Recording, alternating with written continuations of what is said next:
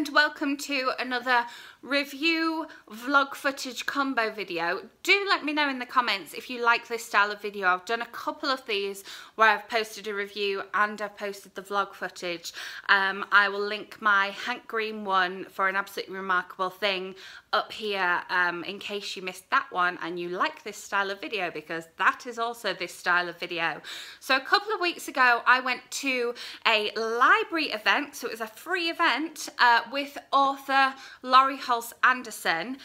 Now, I have to admit that until I heard about this event and began speaking to some of the librarians about this event, I hadn't read anything by this author because I hadn't heard an awful lot about her books. I think maybe it's something that is better marketed here than it is in the UK and so growing up I didn't hear about her books because her books were published when I was a teen. And so I could have read them as a teen but I didn't because I didn't know about them. Um, so I went to the event um, after I talk about the book that I read. You will see the footage of the event. It was wonderful and she was wonderful and thank you so much to Arapahoe Libraries for hosting because it was just great to discover a new author. A lot of people there were firm favourites of hers um, and a lot of people there were educators as well and she spoke a lot to um, the educators among us in the audience, um, which I thought was a really good thing. She knew that some of her audience was there because they were readers and some of her audience were there because they were educators, which I thought was really, really good. So her first, well, not her first novel, but the first novel that really took off because she's written all sorts of things. If you look into her back catalogue, she's just put out so much, uh, which is great for someone like me that has just discovered her. Um, her first novel is um, Speak. Now, I came away from the event and downloaded the audiobook of this one so that I could read it in audiobook form. However, she spoke at the event about this graphic novel here. So what I decided to do was to listen to the audiobook and then reread it in graphic novel form because some of the pages in the graphic novel, well, not some of the pages, the pages uh, in the graphic novel are just wonderful and it is a very dark novel and so I love the fact that the graphic novel is in black and white. I just think it was the best choice to be made. Um, and the graphic novel hasn't actually been out that long. Uh, Speak, I think, was published in 1993. Um, I believe this is a signed copy. I don't know she maybe signed it while she was at the event because I did get it at the library where she was at. But yeah, Speak was published in 1993. And then this one came out. Oh, why doesn't it tell me? Where's my little, my little page? Oh, I will find out and leave it in the description box for you. Um, but um, yeah, she spoke about it at the event and so I knew I had to get it. And also, when the name of the high school was Merryweather High, I was like, oh, okay, that's my name. Um, oh, here we go. This was published this year. Yes, okay, so, uh, wait, no. Speak was published as a novel in 1999. Maybe something else happened in 1993. It was probably in the video footage. Oh my goodness, this is rambling already. Um, so yeah, so I listened to the audiobook, which I thought was absolutely fantastic, and then reread it as graphic novel form because I'm trying really hard to read more graphic novels. And so was this. This was also absolutely fantastic and just the illustrations in here, the fact that it is in black and white, it's just awesome. Um, so the one that she shows in the presentation I really like and it's near the beginning. Let me find it. Where is it? Oh, there we go. That's the one that she showed us in the presentation that kind of sold me on the fact that I need to read this book and I need to read it in the graphic novel form. But I listened to it on audiobook. This novel is about someone who is a survivor of um, some kind of sexual assault. We don't learn the full details or the full extent of the assault. Well, I mean, I don't know that we ever learn the exact full details, but we know that something has happened. The person who ha has assaulted our lovely main character um, is not named and details are released very slowly throughout the novel. Given the fact that this is obviously an issues-based novel, it is about the fact that, you know, the effect that this attack and this awful thing has happened to her that has happened to her has had on her has you know caused her to be this quiet person and has caused her to have different reactions to everyday things than we might expect or than is the norm. Um, and so aside from the fact that we have this thread of how she's been affected by this attack and this violation um, this feels like just a story about somebody else starting at a new high school and how that feels. And the way the book is structured as well I think that um, that picture the pictures that I've showed you so far kind of shows you um, it's structured in the different classes at school. So this is one of the classes. Um, so we've got a phys ed chapter and we've got chapters about prom and things like that. So it's structured as if it is just any old young adult novel about somebody starting in high school and the effect that that has on them. But there is another layer added, there is another level because of the fact that this person is so affected by this abuse that she has suffered and this attack that she has suffered and so has different reactions and has um, another level of feeling about all these new things that are happening to her. Um, she has a very, very strong moral sense of right and wrong and um, some very strong opinions which we as readers get to be part of and get to share but her family and her friends don't get to see that because of the trauma that she has suffered. Um, and sometimes that can make life very hard for her because she isn't able to speak up. It's not that she doesn't want to speak up, it's that she is actually unable to speak up. And that shines a light on what post-traumatic stress disorder can look like and how it can look very different to different people and how it affects people differently. But no matter what level of violation or abuse or attack has happened, there is going to be some sort of post-traumatic stress effect on them, whether that is immediate or whether that comes out later in life. And so I would really recommend this this novel. The graphic novel is fantastic. The audiobook is also fantastic. I am sure the original novel is fantastic. Obviously, if you are a survivor, then, you know, care warnings come with this um, because you don't have to read it. Um, but if this is something that you want to see more of in young adult fiction and haven't read this one, then I definitely recommend this.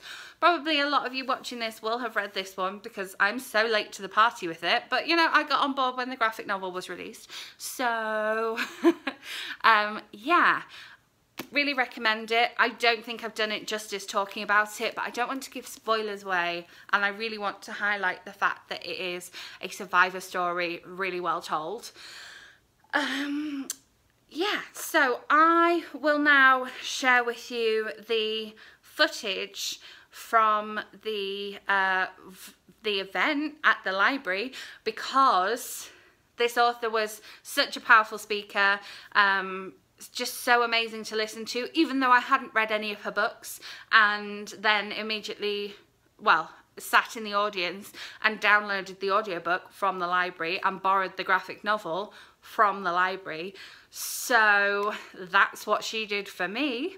Um, yeah, I will share that with you now um, and then come back to you at the end. Um, trigger warnings are a big deal. Uh, people are using those more frequently. I don't love that, that phrase though. I prefer the phrase, um, you know, a, a, a, mo a, moment of concern or care, a care warning. Because one of the things that we're all learning um, in, in this generational shift is how much we all have to take care of ourselves and of each other, right? We try to walk in the world in love. Even when you're really angry about a lot of things. So a strange thing happened over the last 20 years. I wrote a bunch of books. Right? These are just my, my, these are my YAs um, and my historicals. I actually started out writing picture books because I had little kids when I, when I started doing that writing. Um, and then my kids got bigger, so my books got older. Um, Speak was my first novel, so uh, this is like, I guess it's all kind of, kind of well, it's not chronological because the, the historical books kind of were in between the, the YAs. Um, anybody who knew me as a child, particularly my teacher, uh, I, I was that kind of a bad combination of a very tall kid, right? So you guys would put me in the back row, if we had rows back then. And I have a very, very short attention span, which is frankly my superpower. Um, and I have a very, very vivid imagination. Those three things combined meant that I was always in the back row going, what? I don't know what's going on in the world.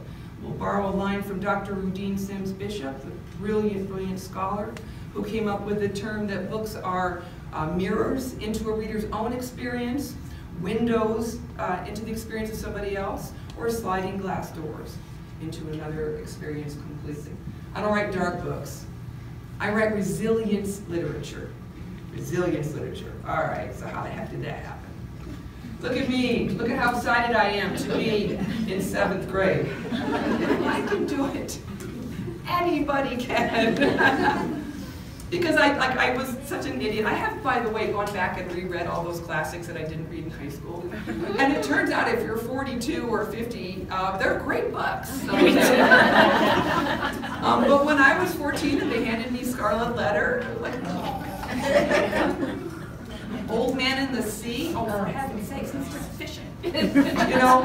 Um, so um, what I did is uh, one of the biggest things I did that got me healthy is that I, I left home my senior year. I was a foreign exchange student my senior year. I lived on a pig farm in Denmark.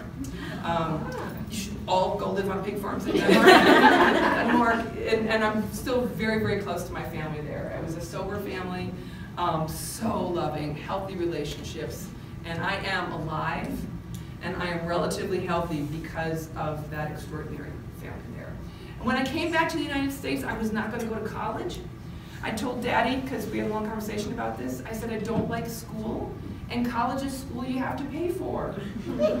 We're broke. And he said, um, he handed me a piece of paper that had the math on it, how much I was going to have to pay him every month if I was going to live in his house and not go to school. My old man was a drunk, but he was smart. right? And so I did, um, I got a job at, at a mall.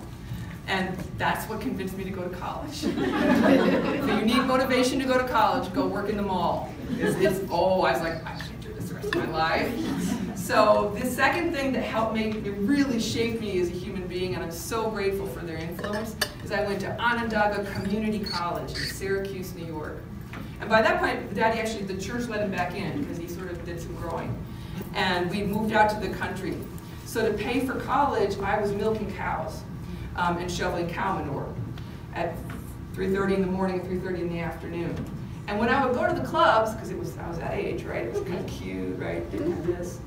And it didn't matter how much I scrubbed my fingernails. I mean, come and come, oh, he looks good. And he'd get too close and he'd get a whiff of cow manure. and I knew that really convinced me I needed to get an education. Because frankly, I just wanted a date. it's funny the thing, the choices that you made. But it turned, I did I was working so hard at this farm to pay for community college. Instead of sitting in the back row like I used to and daydreaming and not paying attention, I was always sat in the front row, right? I became that, that girl, right? Because I was always asking questions if I didn't understand something. Because I'd been up since 3.30 in the morning shoveling what came out the back end of a cow, right? So I paid attention, did my homework, showed up to every class and asked when I had questions. And surprising thing happens when you do that. I got great grades. I come at it kind of from a more instinctual level of story. Um, I still don't know what a theme is. If anybody wants to enlighten me, see me later. I had always been that kid after I learned how to write who turned to writing as a way to make sense of the world. Um, and so that continued in my adult life. So I decided that I wanted to try to write books. I had little kids at this point. I was a journalist for a long time. And when I sat down to write books, um, I was arrogant and ignorant. I made every single mistake. If you have rejections, come talk to me. Because I have hundreds of them. Hundreds of rejections when I started to write because I was the idiot who had not paid attention in English class. And I was arrogant, right? Oh, such a bad combination. So I would get these great ideas, and I was mostly writing picture books at this point, right, for little kids. I would get these great ideas, and I would write them down. Picture books have like 500 to 700 words. And I would check it for spelling because I know that's important. and I would send it off to New York City and wait, and months later it would come back and it was rejected. Most of these are form rejections, which is a polite way of saying, lady, you suck. but they say it in like grown up New York City language. Um, uh, then I, I realized that maybe I should do this thing that my English teachers always hinted about called revision. right? Revision. It turns out you guys are smart, right? you know what you're talking about. And so when I started to finally revise my work, um, it got better. I published a couple of picture books. Uh, does anybody here know my historical novel, Fever 1793? Yes! Right? My history nerds in the audience. I actually started working on that in 1993 because there was a 200 year anniversary of that epidemic in Philly. And oh, that book was so bad. So bad. Everybody turned it down. And I had been working on it for years, and I put it aside because I didn't know how to make it better. I had a very bad dream. So when I had a nightmare late in 1996, and I, I was a girl sobbing, I woke up and I actually thought it was Stephanie. So I went down and checked on her. It's like, oh, guilty mom. And she was fine. She wasn't crying that night. Um, but does this happen to anybody in here? When I fell back asleep, I fell right back into that nightmare, right? It's recurring, right? Ah! Yeah. So what I what I know about that, at least the way my brain works, is that when I'm having a recurring or a, a nightmare that keeps on picking up, it's usually my subconscious going, "Hey, hey, you, something's going on. You need to be paying attention to, right?" And the way I deal with that is I, I write. So that night I turned on my computer and I just did a, a, a stream of consciousness brain dump about this crying girl in my head. I knew something was wrong. I didn't know what. I didn't know why she was crying. I didn't know what had happened, but I kind of had a character in my head. Um, obviously, Melinda's personality is fairly close to mine, um, but her journey in Speak is definitely my emotional journey. But I had to figure, I didn't want I didn't want to talk about my own experience, which is why I wanted to fictionalize it. She developed into a completely new person. So what I started that night turned out to be Speak. It took me about two weeks, and I was like, oh, I know why she's crying, right? And uh, that was amazing. I had a full-time job and was a mom when I was working on this book. So this, for those of you who are writers in the room, the Speak was mostly written between four and six in the morning. Um, and I gave up television. That's sort of, I really, haven't really gone back to it because you have to give up something if you're going to find the time to be creative. There were no expectations for this book. The first person I sent it to rejected it. So when next time you get a rejection letter, say to yourself, somebody rejected Speak, that was stupid. right? um, that first rejection letter, I laminated later. Yes, and if I'm having a bad day, I pull it out and I laugh. right? Bitterness will take you far. um, the second person I sent it to was interested in it, but asked me to do a revision called on spec, meaning that they won't um, promise you anything. There's no contract, there's no money, but you know, let's see what you're made of. It's kind of like an audition. When the book was finally published, because I did figure it out, my editor said, now listen lady, don't get your hopes up book might sell, here's our hopes, we're hoping it's going to sell 3,000 copies in three years. I said, geez, you know, there's a lot of teenagers, big country, millions of people. This is back in, this was in 98, the book came out in 99. And she said, oh, teenagers don't read. I said, why are you publishing the book? And she said, quote, teachers and librarians will read anything. I'm happy to report that she left publishing shortly after that, right? 1999 was a seminal, groundbreaking year in, in, young adult literature. It was, we, we just hit it, just dumb luck, right? We had this, this bulge of the population, um, kind of baby boomers 2.0. we call them millennials now. And then um, a lot of books got written and published that year, like Walter Dean Myers' Monster, that really spoke to the concerns of kids who hadn't found themselves in books before. So Speak has published, has uh, uh, sold almost 5 million copies very much. You helped me put all my children through college. Nobody had to work on a farm. Um, and it's changed my life. Um, not just the writing of the book, obviously that would have been fine, that would have been more than enough, even if it had never been published. But the opportunity to travel not only the country but the world and listen to the experiences of others. Not everybody has been a victim of sexual violence, thank goodness, but so many people get to their adolescence and something bad happens, right? Because bad things happen to good people all the time. And if they don't have a really robust network of adults who can see that something's going on, not necessarily even parents, right? But just, we need a village, everybody needs a village. Um, sometimes those scars linger long into adulthood. Um, I, I know a lot of adults who are struggling with a lot of pain. And when you get to know them a little bit and you talk to them, you realize that that pain often has its roots in their adolescence or childhood. Um, this is why you guys like to read this because this helps. We all are 15 when we're reading about a 15 year old. Um, so, uh, and it is just, I've learned so much about life in the world from listening to the stories of readers. I just can't get over how stinking lucky I am. They made a movie version of Speak in 2003. Kristen Stewart was the lead actress. This is before she was in Twilight. I have opinions about that. she did a phenomenal job. She was only 13 years old when we shot this film. So was a very, very low budget movie. Um, made for television. Uh, what's most important, more important than Kristen, is that I'm in the movie. yes, yes, my one big break. I got to play the lunch lady with mashed potatoes for like 0.3 seconds. And I came away from the film with so much more respect for lunch ladies, right? And actors, because it's way harder. Um, watching them, I was on set for a couple days with my oldest kid, and just watching how they made a film, right? Do I know from that? Changed the way I write for teenagers.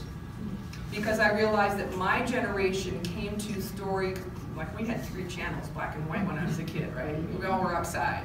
Um, coming, I came, my generation came to story through text. And so from a very young age, we were used to reading long blocks of text, you know, 10, 20 page chapters. Um, starting with my, so I, my first kid was born in 85. I say even before that, starting with kids born in the early 80s, kids started coming to story first through visuals screen time, more cable television, uh, and, then, computers, and now everything, everything is, which is actually much more natural. Reading is not a natural thing, right? It's encoding and decoding uh, symbols on a page. Um, but watching how they took my narrative subtext from the story and turned and visualized it, um, which is kind of the same thing we do when we dramatize um, emotional states, right? And when, when we're writing, I realize that in every scene I ever write, I need to ground my reader enough so that the reader can picture that world easily. Um, and so in terms of my own revision process, when I'm working sort of late in the revision process, that's one of the things that I double check, is to make sure that I've given you the details that you can not see that space, but you can feel that space, you can smell it. Um, so that was a really good learning process for me. Um, in 2011, I'm doing on time. Ooh, talk faster, girl. In 2011, I went to my publisher and I said, so the kids these days, they like those graphic novel things. I had to look up what a graphic novel was, but I did that before I went into the meeting. Um, I said, why don't we do a, a speak and turn that into a graphic novel? And they were they were down with that. So we hired Emily Carroll, um, who's a very talented artist from Canada. Uh, I hired, I, she was the top of my list because she, she's known for drawing horror comics. And this is a book about horror. Anybody who's been through this experience, um, and especially if you don't get the support that you need. Um, and best of all, because Emily's Canadian, she had never heard the book. So she came to it fresh. So in 2015, I started working on the script for the book. Um, and what I love hearing from teachers all over the country is that a kid will read the graphic novel, love it, really get into it, totally dig it. and then go to the teacher and say, can I read the book book now? And, they, they're all using this little phrase book book because they want to go back into that experience and now they're ready for it. Um, so I'm just so honored to be a, a piece of this. I really love working on the graphic novel version. Do you see what I mean? Um, so yeah, thanks again to Arapahoe Libraries for hosting and to Laurie Halse Anderson for visiting. Um, it was such a great event and I'm so pleased that I have now read Speak and am able to share it with all of you. Um, if you enjoyed this video, please give a thumbs up. Let me know what Laurie Halse Anderson novel I should read next in the comments below or if you are new to it, what you might be picking up. Um, make sure you're subscribed so that my next video lands in your subscription feed and I will be back with another video very soon. Bye!